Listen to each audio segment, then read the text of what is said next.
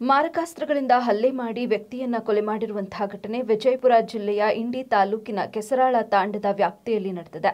ಕೆಸರಾಳ ತಾಂಡದ ನಿವಾಸಿ ಐವತ್ತು ವರ್ಷದ ಮಲ್ಲು ರಾಠೋಡ ಕೊಲೆಯಾದ ದುರ್ದೈವಿ. ನಾಲ್ಕು ಜನರು ಸೇರಿ ಮಲ್ಲು ರಾಠೋಡರನ್ನ ಮಾರಕಾಸ್ತ್ರಗಳಿಂದ ಕೊಚ್ಚಿ ಕೊಲೆ ಮಾಡಿದ್ದಾರೆ. ಈ ಸಂಬಂಧ ಇಂಡಿ ಶಹರ್ ಪೊಲೀಸ್ ಠಾಣೆಯಲ್ಲಿ ಪ್ರಕರಣ ಕೂಡ ದಾಖಲಾಗಿದೆ.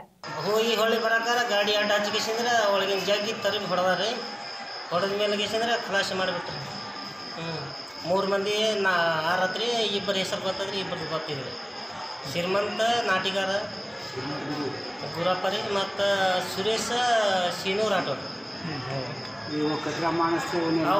ಮಂದಿ ಗೊತ್ತಿಲ್ಲ ರೀ ಎಷ್ಟಿದ್ದಾರೆ ಹ್ಞೂ ಈಗ ಮತ್ತೊಬ್ಬರು ಬಂದು ಗಿಸ್ ಹೇಳ್ತಾರೆ